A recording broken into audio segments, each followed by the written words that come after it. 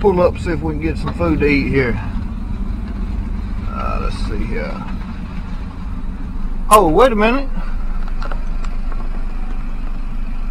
Man, this place is abandoned.